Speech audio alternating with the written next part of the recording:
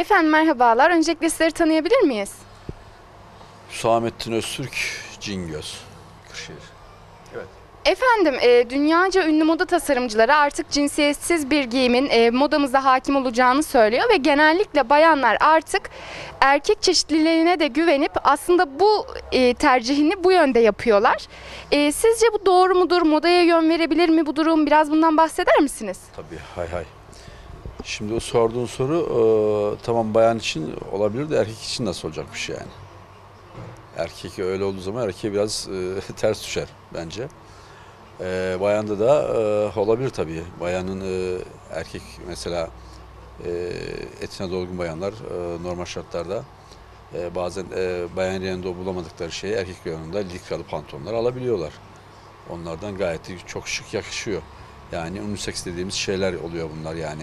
Hem erkeğin hem bayanın giydiği şeyler vardır. Yani daha çok e, bayanın erkek üzerinde giydiği şeyler vardır. Ama e, erkeğin bayanla ilgili giyeceği şey olamaz yani. O bence yanlış bir şey. Yani en azından bizim kültürümüze de ters düşer. E, olmaz yani o ya. Ama e, bayan erkek giysisini giyebilir. Yani hepsini değil ama birçok şeyi giyebilir.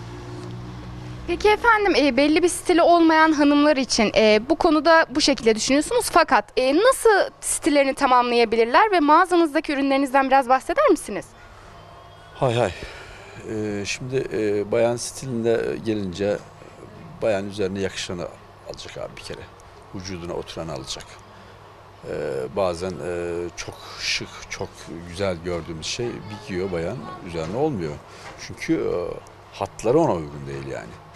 O açıdan e, e, bazen de işte e, ben bunun için söylüyorum işte e, müşterilerimize görmediğin, almadığın, dokunmadığın, e, tuşesine e, dokunmadığın şeyler senin değildir diye.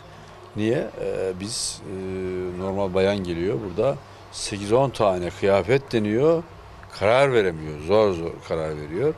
Sen nasıl bir internetten e, bir kıyafet getiriyorsun, alıyorsun ya? Burada 10 tane kıyafet deniyorsun, beğenemiyorsun, orada nasıl alabiliyorsun? O açıdan e, belli bir marka vardır, belli bir klişe vardır. Yani nedir? Atıyorum mesela erkek giyiminde e, şu şu firmanın e, şu kalıbı bana uyuyor dersin. Onu da görürsen alırsın amenna. Ama öbür türlü özellikle bayanda bu e, olmaz. Yanlış bir şeydir yani. E, ö- öze dönecek olursak e, bayan giymesi lazım diyoruz. Vücuduna oturana yakışması, yakışan ürün alması lazım diyoruz. O açıdan e, alışverişlerini yaparlarken e, daha çok görerekten, bilerekten almaları lazım diyoruz.